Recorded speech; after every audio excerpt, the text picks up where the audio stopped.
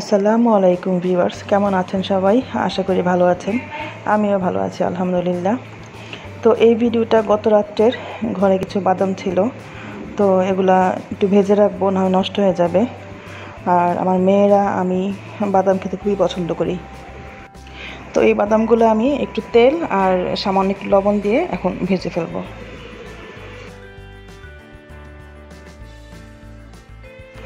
তো এটা ভেজে রাখছিলাম কিছুক্ষণ আগে, তো ঠান্ডা হয়ে গেছে, এখন বয়মে ঢুকায় ফেলব। আর এই বাদামটা আমার মেয়ে বিট লবণ দিয়ে খুব পছন্দ করে খেতে। এখন সকালবেলা, তো আমার মেয়ে ঘুম থেকে উঠে গেছে, আমার হাজব্যান্ডও উঠে অফিসে চলে গেছে। আজকেও উঠে গেছে আমার সাথে সাথেই। যেদিন আমার পরে উঠে, তো আমি আগে কাজগুলো গুছাই, আর যেদিন আগে উঠে যায়, আগে ওর নাস্তাটা রেডি করি। তো মুখ টুক ধুয়ে একটু খেলাধুলা করে, তারপর নাস্তা করে। কারণ বাচ্চারা এমনিতেও ঘুম থেকে উঠে সাথে সাথে নাস্তা করতে চায় না। আর আমার মেয়ে খাবার দাবার নিয়ে খুবই ডিস্টার্ব করে। প্রতিদিন এক খাবার খাওয়ার তো প্রশ্নই আসে না। তো এই জন্য আজকে ওকে একটু নুডলসের স্যুপ করে দিব।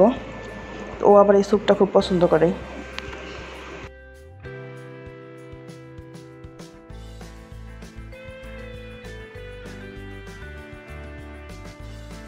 তো আমি এটা একবারে পানি দিয়ে বসাই দিব, নুডলস দিলাম, নুডলসের মশলাটা আর সাথে একটা ডিম দিয়ে দিব।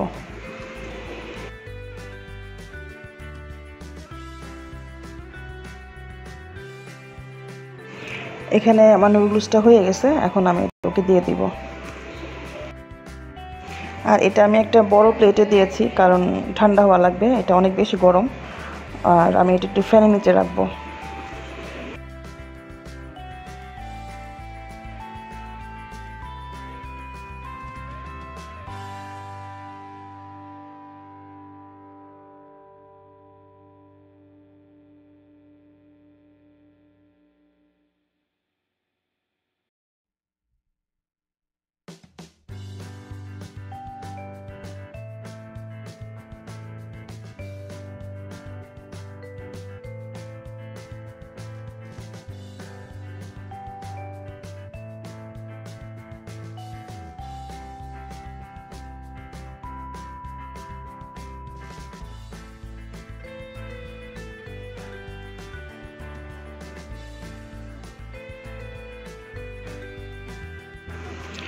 এখানে আমি আজকে বরবটি ভাজি করব, আলু দিয়ে। তো এগুলা কেটে নিয়েছি। আর নর্মাল আমি বরবটি ভাজিটা লবণ আর হলুদ দিয়ে করি। তো আজকে সব মশলা দিয়ে করব। এখানে ধনে গুঁড়া, হলুদ, মরিচ, জিরা গুঁড়া, লবণ, পেঁয়াজ, কাঁচামরিচ আর তেজপাতা দিব, আদা রসুন দিব। আর এখানে যে পেঁয়াজটা দেখতে পাচ্ছেন, এটা আসলে ডিপ ফ্রিজ থেকে বের করা। আমি মাঝে মধ্যে পেঁয়াজ ডিপ ফ্রিজও রাখি। এটাতে তরকারি রান্নাতে কোনো সমস্যাই হয় না।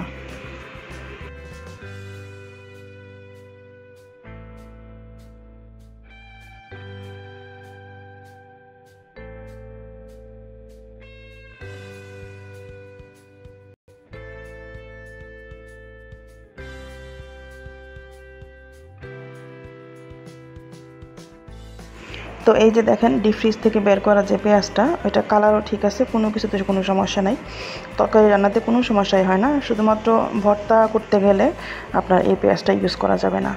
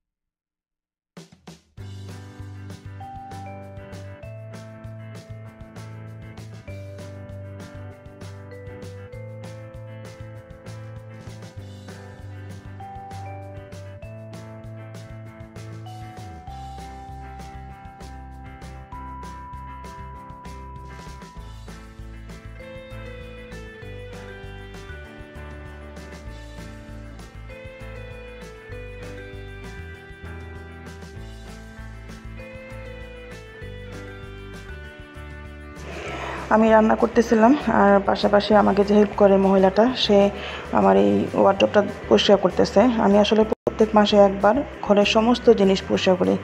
এতে করে দেখা যায় একসাথে জমে গেলে এগুলো পরিষ্কার করতে কষ্ট হয় সময় লাগে বেশি।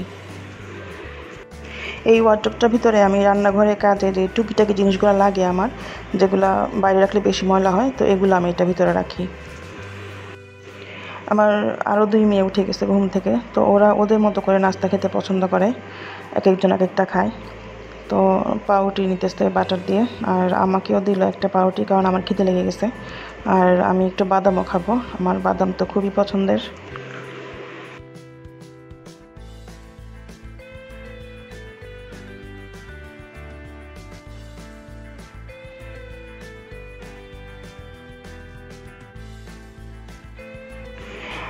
এখানে মাছ নিলাম, আজকে রান্না করব।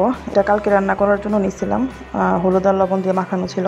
তো পরে রান্না করি নাই, রেখে দিয়েছিলাম এভাবেই ডিপ ফ্রিজে তো এখন নামাইছি এটা এটা রান্না করব। তো এটা তো আর ভিজানো যাবে না, সকালেই নামাই রাখছি। তো এখন খুলে গেছে, তো এটা রান্না করব এখন।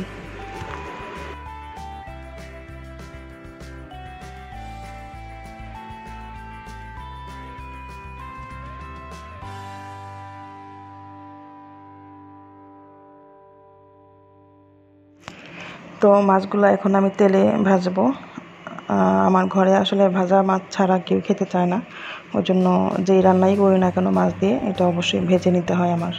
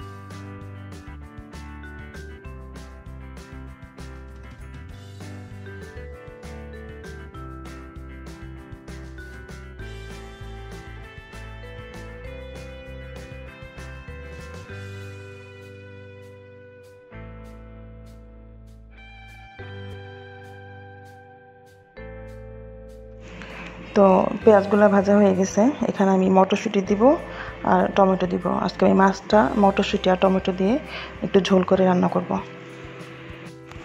তো এখন আমি এখানে সবগুলো মশলা দিয়ে দিব। আদা, রসুন, হলুদ, মরিচ, ধনে, জিরা গুঁড়া, লবণ সবগুলো দিয়ে একটু ভালোভাবে কষিয়ে নিব। আর আমি যখনই রান্না করি, একটা শুকনা ভাজি করলে একটা ভিজা তরকারি করার চেষ্টা করি। একটু ঝোল ঝোল থাকলে ভালো লাগে। আর যদি দুইটা শুকনা তরকারি হয়, তখন একটু ডাল রান্না করি।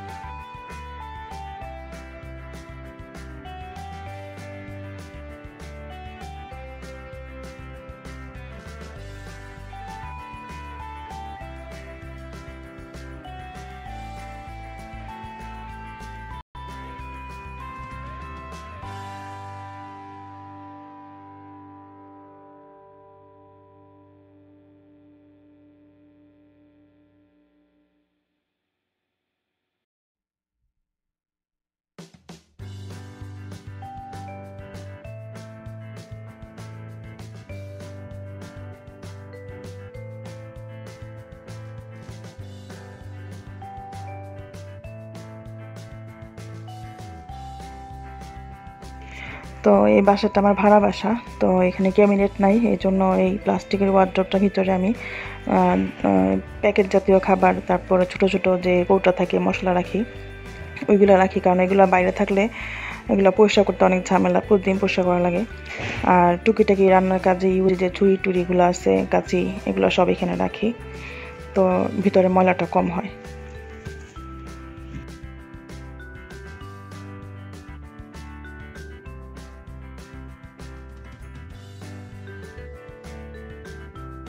তো এখানে আমি ওয়ার্ড্রপের উপরে যে অংশটা এখানে একটা পেপার বিছায় নিলাম। আর এখানে আমি প্রতিদিন যে বক্স জিনিসগুলো যেগুলো আমাদের বক্স টাইপের লাগে, পেঁয়াজ, রসুন রাখি, তো এগুলো ধোয়ার পরে এখানে উপর করে রাখি। আর পেপারের কারণে পানিটা শুকায় যায় তাড়াতাড়ি, আর পরে ব্যবহার করতে অসুবিধা হয়।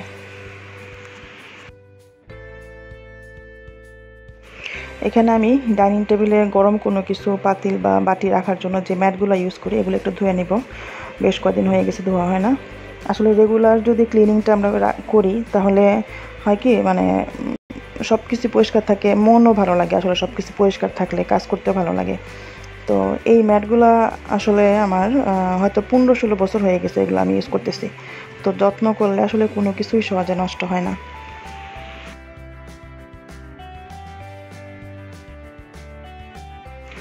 এখানে যেহেতু আমি ভাড়া বাসা, আগে বললাম যেমন ক্যাবিনেট নাই তো এটা আমি বানাইছিলাম লোহা দিয়ে। এখানে আমি ভাতের হাঁড়ি পাতিলগুলা, তরকারি পাতিলগুলা আর এক্সট্রা পাতিল এগুলো আমি এখানে রাখি। আর উপরে একটু পেপার দিয়ে রাখছি আমার ধোয়া পাতিলগুলো উপর করে রাখার জন্য।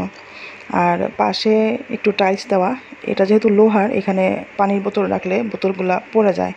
তো দুই টুকরা টাইলস দিয়ে রাখছি যাতে বোতলগুলা সুন্দরভাবে দাঁড়ায় থাকে। আর এখন ওই ম্যাটগুলো এখানে ছড়াই দিলাম শুকানোর জন্য।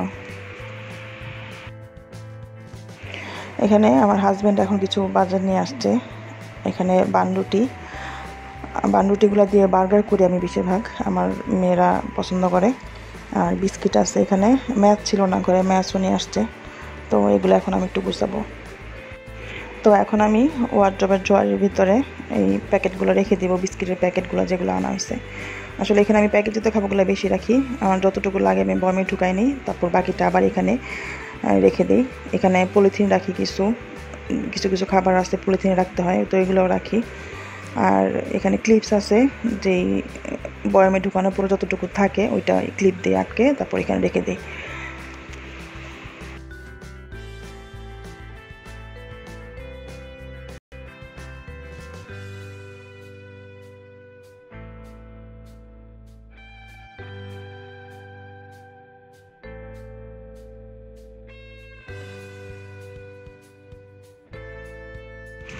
আমি আজকেও কিছু মুরগি কাটাইলাম। মুরগিগুলা আনছিল অবশ্য অনেকগুলো একসাথে, বিশ পঁচিশটা। তো একদিনে তো আর এগুলো কাটা পসিবল হয় না। আর আনছিল আসলে দুপুরের পরে, তো এগুলো আমি এভাবেই ডিপ ফ্রিজে রেখে দিয়েছিলাম আসলে হয় কি, বোয়ারা তো অনেকগুলো বাসায় কাজ করে, তো একদিনে যদি আমি অনেকগুলো কাজ দিয়ে বসায় রাখি, তো সেটা একটু কেমন হয়ে যায়? তো ওই জন্য মুরগিগুলো আমি এক এক দিন করে করে ভিজাই দিছি, তো ওইগুলো কেটে দিছে। আর আমার আসলে বাচ্চা কাচ্চার ঘর মুরগিটা একটু লাগে বেশি, তো তার জন্য ওরা যখনই মুরগি পায়, বিশ পঁচিশটা করে করে নিয়ে আসে। তো এগুলো আমি এখন কাটায় রাখলাম ফ্রিজে আর রোজাও সামনে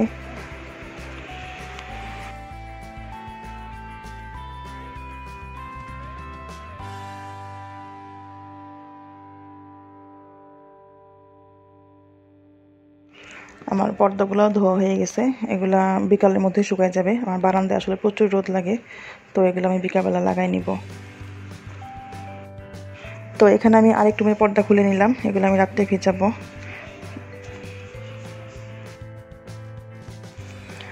তো আমাদের খাবার দাবার শেষ, আর এই যে বিড়াল নিয়ে আমার হাজব্যান্ড দুষ্টামি করতেছে। তো আজকে এই পর্যন্তই, সবাই ভালো থাকবেন, সবাই সবার জন্য দোয়া করবেন।